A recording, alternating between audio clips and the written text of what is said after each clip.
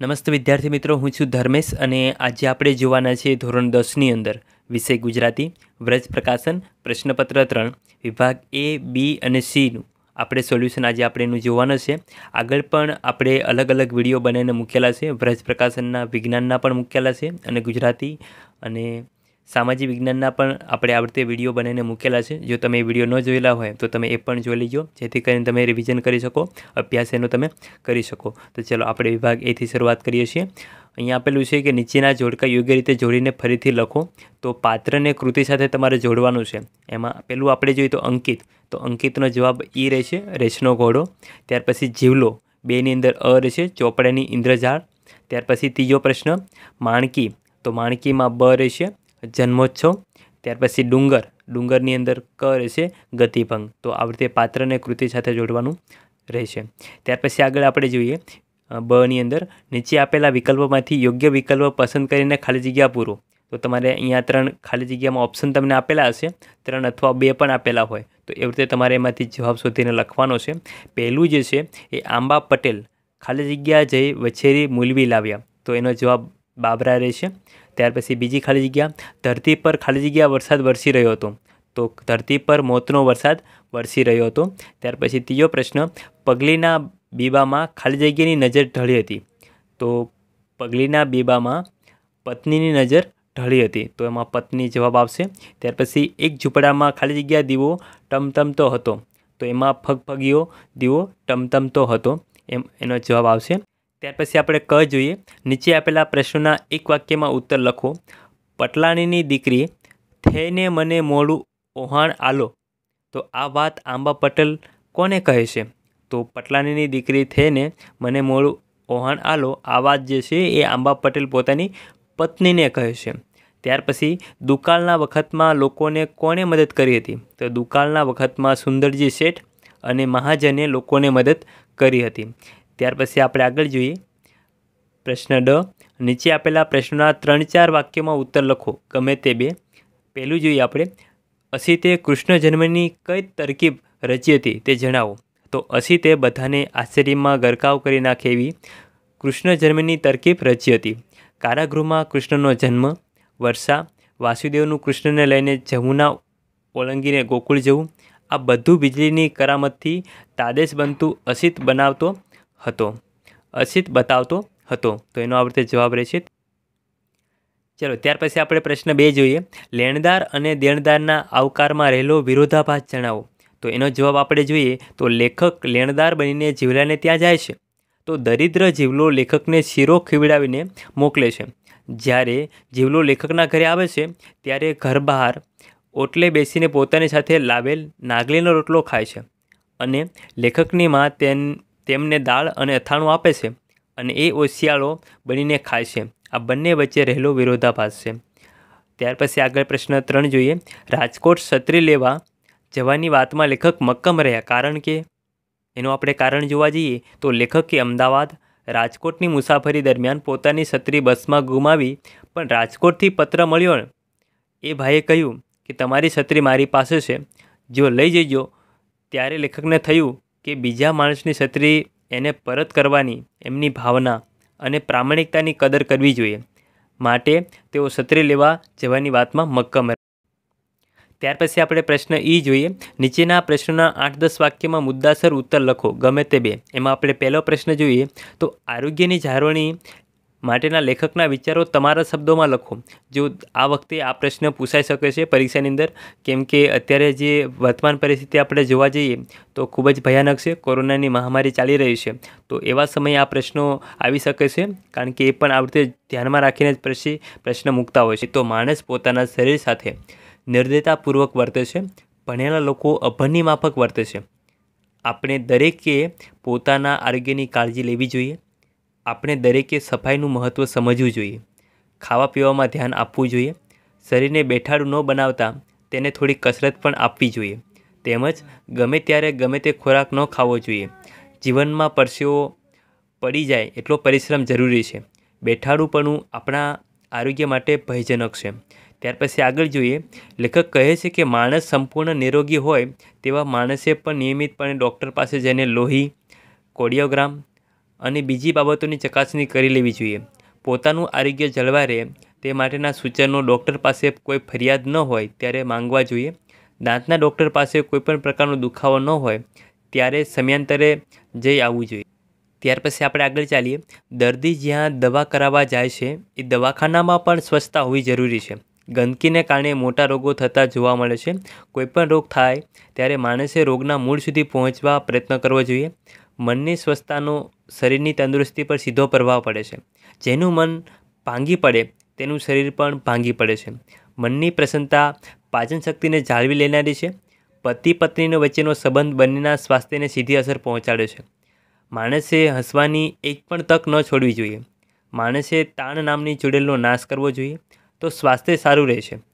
ક્યારેય કોઈપણ સાથે સળકપટ ન કરનાર માણસ નિરોગી બને રહે છે. મન મેલું હોય તો શારીરિક તકલીફ થાય છે. ક્યારેય કોઈપણ પ્રકારનું વ્યસન ન કરવું જોઈએ.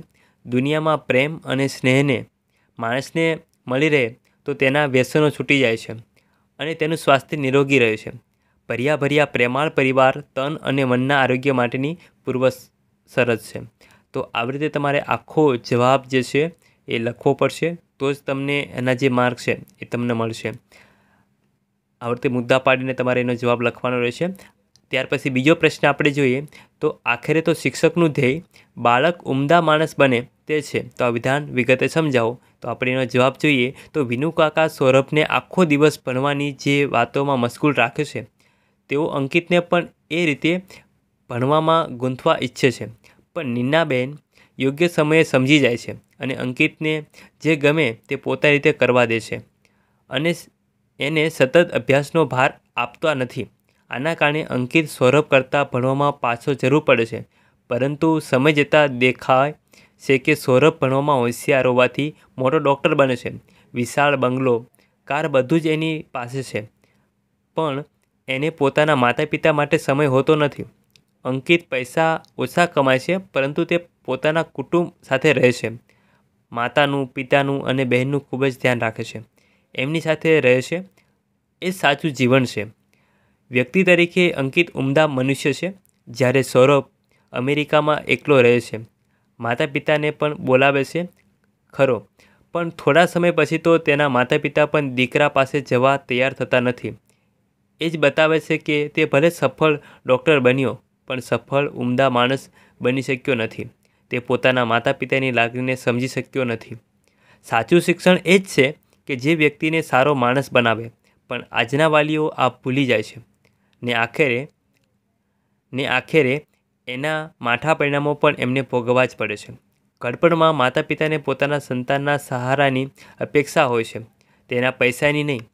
અને તે ત્યારે જ શક્ય બને કે જ્યારે બાળકને ઉમદા માણસ બનવાનું શિક્ષણ મળ્યું હોય. જે અંકિતના પાત્ર દ્વારા સાર્થક થયું છે. અંકિત ભલે ભણવામાં હોશિયાર નથી, પણ માણસ તરીકે તે ખૂબ જ ઉમદા છે. અને એ જ તેનું સાચું શિક્ષણ છે. તમે જો કે આ નાની એવી વાત આપણને ઘણું બધું કહી જાય છે. ભણી ગણીને હોશિયાર બને, પરંતુ એ જો અંતે પોતાના મા બાપને કામ ના આવે, તો એ કોઈ કામનું નથી. તો આ પ્રશ્ન આપણને ખૂબ જ ઉપયોગી બનશે આપણા જીવનમાં પણ, અને આ રીતે તમારે સમજાવવાનો છે વિગતવાર રીતે. ત્યાર પછી આપણે આગળ ચાલીએ છીએ. નીચેના જોડકા યોગ્ય રીતે જોડીને ફરીથી લખો. તો કૃતિને સાહિત્યકાર સાથે તમારે જોડવાનું છે. એમાં પહેલું જે છે વૈષ્ણવજન. તો એકની અંદર ડ રહેશે નરસિંહ મહેતા દીકરી બેની અંદર ક રહે છે, અશોક ચાવડા, બેદિલ. ત્યાર પછી ત્રીજો પ્રશ્ન, હું એવો ગુજરાતી ત્રણની અંદર બ રહેશે વિનોદ જોશી. ત્યાર પછી માધવને દીઠો છે ક્યાંય, ચારની અંદર અ રહેશે હરીન્દ્ર દવે. ત્યાર પછી આપણે આગળ ચાલીએ, ખાલી જગ્યા. બની અંદર નીચે આપેલા વિકલ્પોમાંથી યોગ્ય વિકલ્પ પસંદ કરીને ખાલી જગ્યા પૂરો. તો ભણી નર્સરીઓ તેનું ખાલી જગ્યા કરતાં કુલ એકોતેર તારિયારે તો દર્શન કરતાં કુલ એકોતેર તારિયારે અહીંયા ત્રણ ઓપ્શન આપેલા હશે, એમાંથી તમારે એક સાચો જવાબ લખવાનો રહેશે. ત્યાર પછી બીજી જોઈએ આપણે, સ્વર્ગની એક એક ખાલી જગ્યા ઝલકમાં દીકરી, તો દેવની ઝલકમાં દીકરીનો જવાબ રહેશે બીજો ઓપ્શન ત્યાર પછી ત્રીજી ખાલી જગ્યા જોઈએ, હું ગુજરાતી એ જ વાતથી, ખાલી જગ્યા ફૂલે સાથી તો ગજગજ ગજ ફૂલે સાથી ત્યાર પછી સુરને યમુના વહેણ, ખાલી જગ્યા લાગે છે, તો મૂંગા લાગે છે. ત્યાર પછી આપણે ક તરફ જઈએ છીએ. નીચે આપેલા પ્રશ્નના એક વાક્યમાં ઉત્તર લખો. કવિની દ્રષ્ટિએ ભારવાળો મુંગટ એટલે શું? તો કવિની દ્રષ્ટિએ ભારવાળો મુંગટ એટલે જવાબદારીવાળો મુંગટ. આ પ્રશ્ન આગળ પણ તમારી એકમ કસોટીની અંદર આવી ગયો છે. એટલે તમે ખાસ ધ્યાન રાખજો. વાર્ષિક પરીક્ષાની અંદર પણ આ પ્રશ્ન આવી શકે છે. ત્યાર પછી જોઈએ, નણદોય વિશે આ લોકગીતમાં શું કહેવાયું છે? નણદોયને નાયિકા વાડીનો મોરલો કહે છે. ત્યાર પછી વિભાગ ડ તરફ જઈએ છીએ. નીચે આપેલા પ્રશ્નોના ત્રણ ચાર વાક્યમાં ઉત્તર લખો, ગમે તે બે. તો મુરલી ઠાકુરને આંગણું મોટું શા માટે લાગે છે? તો કવિ કહે છે કે ખોરડું એટલે કે નાનું ઘર છે, પણ એનું આંગણું મોટું છે. એટલે કે માણસનું ઘર ભલે નાનું હોય, પણ એ ઘરમાં રહેતા માણસોની નિષ્ઠા અને પ્રતિષ્ઠાને આધારે તેના દિલની મોટાઈથી આંગણું મોટું બની જાય છે. ત્યાર પછી આગળ જોઈએ. પક્ષીને પામવા કવિ શું કરવાનું કહે છે? તો પક્ષીને પામવા માટે કવિ કહે છે કે, હે શિકારી, તું તેને તીરથી મારીશ નહીં, પરંતુ તું તેને પામવા શાંતિથી તેના ગીતને સાંભળજે. તું પક્ષીને જીવનદાન આપીશ તો પક્ષી પ્રભુ સાથે તારા હૈયામાં તેનું મળશે, એમ કવિ કહે છે. ત્યાર પછી ત્રીજો પ્રશ્ન, દીકરી સમજણના ફલકમાં વિસ્તરે છે? એમ કવિ કેમ કહે છે? તો જે દીકરી નાની હતી, ત્યારે પિતા એના મસ્તક પર હાથ ફેરવતા હતા અને એ દીકરી મોટી થતાં પોતાના પિતાના દરેક કાર્યમાં તેમને સાથ આપે છે. એમ દીકરી સમજણના ફલકમાં વિસ્તરે છે એમ આપણે કહી શકશું. ત્યાર પછી ઈ તરફ જઈએ છીએ. નીચે આપેલા પ્રશ્નના આઠ દસ વાક્યમાં ઉત્તર આપો. લખો. તો એમાં ગમે તે બે લખવાના છે. તો મેં અહીંયા બેના જવાબ તમને આપેલા છે. કુલ તમને ત્રણ પ્રશ્નો આપેલા છે ત્રણમાંથી તમારે બે પ્રશ્નના જવાબ લખવાના રહેશે. એમાં પહેલો પ્રશ્ન જોઈએ. સ્વજનો માટેનો કાવ્ય નાયિકાનો ભાવ કાવ્યને આધારે વર્ણવો. તો એનો આપણે જવાબ જોઈએ. તો ચાંદલીઓ લોકગીતમાં આસો મહિનાની શરદ પૂનમની રાત્રિએ નાયિકા પોતાના સખીઓ સાથે ગરબે ઘૂમી રહી છે અને ગરબો ગાય છે. તેમાં પોતાના કુટુંબના સ્વજનો વિશેનો નાયિકાના દિલમાં રહેલો પ્રેમભાવ વ્યક્ત થાય છે. નાયિકા પોતાના સાસુ સસરામાં જાણે કે પોતાના પૂર્વભવના માતા પિતા હોય એવો લાગણીનો ભાવ અનુભવે છે. એના માટે સાસુ સસરા નહીં, પણ સગા માતા પિતા હોય એમ અનુભવે છે. નાયિકાનો જેઠ ચંપાના છોડ જેવો સુંદર ત્યાર પછી અને જેઠાણી ચંપાના ફૂલની પાંદડી જેવી નાજુક નમણી અને સુંદર સ્વભાવની છે. એવો ભાવ રજૂ થયો છે. ત્યાર પછી નાયિકાની નણંદ જાણે કે વાડીમાં રહેલી વેલ જેવી મોહક છે. નાયિકાનો પતિ ખૂબ જ સુંદર છે. એ કહેવા માટે નાયિકા પોતાના સખીને કહે છે કે, મારો પતિ કે જે મારી સગી નણંદનો વીર છે અને તે પોતાના માથા પર નવરંગ પાઘડી તાણીને બાંધે છે. તેના આ વાક્ય દ્વારા તેના પતિના સૌંદર્ય અને મિજાજનો પરિચય થાય છે. તો આમ નાયિકા સાસરીમાં સર્વ પ્રકારના સુખનો અનુભવ કરે છે અને આવા સુખને લીધે નાયિકાને પોતાના ચોકમાં ચાંદો ઉગ્યો હોય તેમ લાગે છે. આમ સમગ્ર લોકગીતમાં સંયુક્ત કુટુંબ જીવનના સંબંધોનું મધુર ચિત્ર આલેખવામાં આવ્યું છે. નાયિકા સાસરિયાને પિયરમાં તેટલા જ આત્મીય ગણે છે. તેમાં આપણી સામાજિક સંસ્કૃતિનું પ્રતિબિંબ ડોકાય છે. તો આ તમારે એનો જવાબ લખવાનો રહેશે. ત્યાર પછી બીજો પ્રશ્ન જોઈએ. એક બપોરે કાવ્યનો મધ્યવર્તી વિચાર સ્પષ્ટ કરો. તો એક બપોરે કાવ્યમાં આલેખાયેલ સારસી એક કવિની પ્રિયતમાં કે પત્નીનું પ્રતીક છે તો સાથે સાથે કવિના જીવનનું પણ પ્રતીક બની રહે છે કવિને ટીબીનો અસાધ્ય રોગ થયો છે. પોતે હવે આ દુનિયામાં થોડા જ દિવસના મહેમાન છે. એમ જાણ્યા પછી કવિને હવે આ જીવનની કોઈપણ બાબતમાં રસ રહ્યો નથી. તેમણે જાણે કે ખાવા પીવામાં રસ રહ્યો નથી અને એટલે તે પોતાની માતાને કહે છે કે હવે રોટલા પાસા બાંધી દે અને ઢાંચકીમાં સાસ પણ પાછી રેડી દે. ચલમના બંધાણી એવા કવિને અમે ચલમની સાસ પણ પાછી રેડી દે. ચલમના બંધાણી એવા કવિને અમે ચલમની તમાકુ પણ કસ લાગતો નથી. કોઈપણ પ્રકારનો કસ એમાં જોવા મળતો નથી અથવા રસ લાગતો નથી. માટે તેઓ અગ્નિને પણ ઠારી લેવાની, ઠારી દેવાની વાત કરે છે. એમાં કવિના જીવનની વેદના દેખાય છે. તો કાવ્ય નાયકને સારસીરૂપી જીવન ચાલ્યું જવાનું હોવાથી નરી વેદના જ અનુભવાય છે. તો જીવનને સાર નિરસ લાગે છે. રસથી સલકાતા જગતમાં કવિને કોઈ રસ લાગતો નથી અને એ આ સારસીના પ્રતીક દ્વારા કવિએ સુંદર રીતે રજૂ કર્યું છે. તો આવૃત્તિ તમારે વિભાગ બીની અંદર આ બે પ્રશ્નાવૃત્તિ લખવાના રહેશે. ત્યાર પછી આપણે વિભાગ સી તરફ જઈએ છીએ. ધ્યાન આપજો અહીંયા. આપેલા વિકલ્પોમાંથી સાચો વિકલ્પ પસંદ કરીને ઉત્તર લખો. વ્યાકરણ વિભાગ આવશે, વિભાગ સીની અંદર, મોટા ભાગે. તો એમાંથી આપણે જોઈએ તો નીચેના શબ્દોની સાચી જોડણી શોધીને લખો. તો કુલ દીપક. જો અહીંયા આપેલું છે કુલદીપક ખરેખર આપણે જોવા જઈએ તો આ રીતે લખાય છે, હસ્વ. હસ્વ આવશે, અહીંયા જે દીર્ઘ આપ્યું છે, તો દીર્ઘની જગ્યાએ હસ્વ આવશે, બાકી બધું બરાબર એમાં જ રહેશે. ત્યાર પછી વિભાવરી. તો વિભાવરીમાં બીજો ઓપ્શન આવશે, વિભાવરી. ત્યાર પછી શબ્દની સાચી સંધિ જોડો. તો વી પ્લસ અવહાર. તો વ્યવહાર થશે. ત્યાર પછી શબ્દનો સમાસ ઓળખાવો. તો રક્તટસ્સા એમાં તત્પુરુષ સમાસ આવશે. ત્યાર પછી જોડકા જોડો જોઈએ આપણે. પેરેક વાક્ય રચના, તો એમાં એકની અંદર બ આવશે. ઘોડીએ આંબા પટેલને તરતા કર્યા. ત્યાર પછી કર્તરી વાક્ય રચના જોઈએ, તો બેની અંદર અ રહેશે ડુંગર રાજપુર સ્ટેશનનો ગયો. અહીંયા ગયો ગયો બે વખત લખાઈ ગયું છે, તો અહીંયા એક જ વખત આવશે. તમે જોઈ લીજો. ત્યાર પછી આપણે પ્રશ્ન પાંચ તરફ જઈએ છીએ. વાક્યમાંના અલંકારોનો પ્રકાર જણાવો. તો અહીંયા તમે જો કુલદીપક થાવું કઠિન દેશ દીપક દુર્લભ, જગદીપક જગદીશના એંશી કોક અલભ્ય. તો અહીંયા તમે જો કે દીપક દીપક દીપક એવી રીતે બધામાં દીપક દીપક વારંવાર આવે છે એટલે વર્ણાનુપ્રાસ એ અલંકાર થયો. ત્યાર પછી જોઈએ શબ્દમાં કયો પ્રત્યય રહેલો છે? તો શિકારી જે છે, તો શિકારીમાં પર પ્રત્યય રહેલો છે. શિકારી. તો એમાં પર પ્રત્યય આવશે. ત્યાર પછી પ્રશ્ન સાત જોઈએ આપણે. નીચેના શબ્દોના સમાનાર્થી શબ્દ શોધીને લખો. તો રાજા. તો રાજા એટલે નૂપ. ત્યાર પછી રત્નાકર. તો રત્નાકર એટલે સાગર. ત્યાર પછી સંજ્ઞાનો આપેલા વિકલ્પોમાંથી સાચો પ્રકાર લખો. તો વાંસળી. તો વાંસળી જે છે જાતિવાસક થશે. ત્યાર પછી આગળ જોઈએ. તો નીચેના પ્રશ્નના માગ્યા મુજબ જવાબ લખો. તો નીચેના રૂઢિપ્રયોગનો અર્થ આપો આ ભરેલાઈ જવું. તો ખૂબ વરસાદ પડવો. ત્યાર પછી નીચે આપેલ કહેવતનો અર્થ લખો. દેખવું નહીં ને દાજવું નહીં, તો જોવું પણ નહીં અને એના કારણે ચિંતા પણ ન થવી જોઈએ. ત્યાર પછી આપણે પ્રશ્ન અગિયાર જોઈએ. નીચેના શબ્દ સમૂહ માટે એક શબ્દ લખો, તો વિક્રમ સંવતનો છેલ્લો હિન્દુ મહિનો, તો આસો અથવા તો અશ્વિન આપણે એને કહી શકીએ છીએ. ત્યાર પછી પ્રશ્ન બાર. નીચેના શબ્દનો વિરોધી શબ્દ લખો, મૂંગા, તો વાચાલ અને બોલકા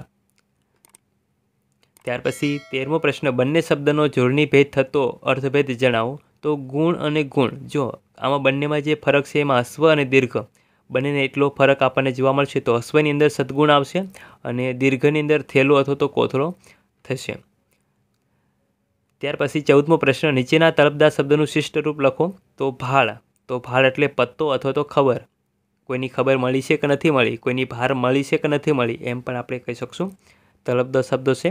ત્યાર પછી પંદરમો પ્રશ્ન, નીચેના વાક્યમાંથી વિશેષણ શોધીને તેનો પ્રકાર જણાવો. તો લેખકને શ્યામલ શ્યામા સત્રી ગમી તો ઉત્તર આપણે જોવા જઈએ તો શ્યામલ શ્યામા એ ગુણવાચક વિશેષણ થશે.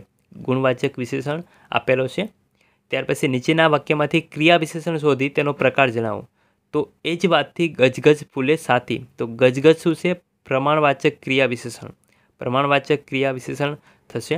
ત્યાર પછી પ્રશ્ન સત્તર જોઈએ. શબ્દના ધ્વનિત ઘટકો. છૂટા પાડો તો સ્વર અને વ્યંજન તમારે છૂટા પાડવાના છે, સૂર્યાસ્તનું.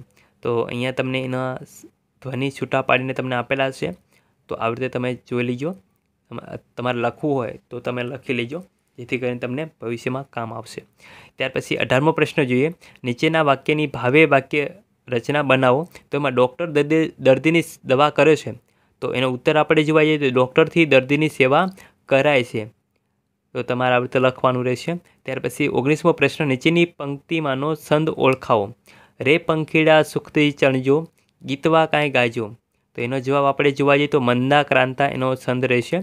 તમારે છંદ ઓળખાવાનો રહેશે. મંદા ક્રાંતા એનો છંદ રહેશે. ત્યાર પછી છંદનું બંધારણ જણાવો. તો અહીંયા આપેલું છે, જસ જસ યલ ગા. તો એ પૃથ્વી છંદ રહેશે વિદ્યાર્થી મિત્રો, અહીંયા મેં વિભાગ એ વિભાગ બી અને વિભાગ સીનું સોલ્યુશન કરીને આપેલું છે. તમને આ વીડિયો ચોક્કસ પસંદ આવેલો છે. જો તમને પસંદ આવે તો તમે લાઇક કરો શેર કરો સબસ્ક્રાઈબ કરો. જેથી કરીને તમને આવનારા વિડીયોની નોટિફિકેશન તમને મળતી રહે. જય હિન્દ.